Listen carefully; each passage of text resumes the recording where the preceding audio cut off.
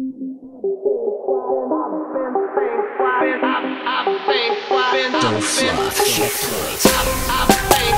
Flop,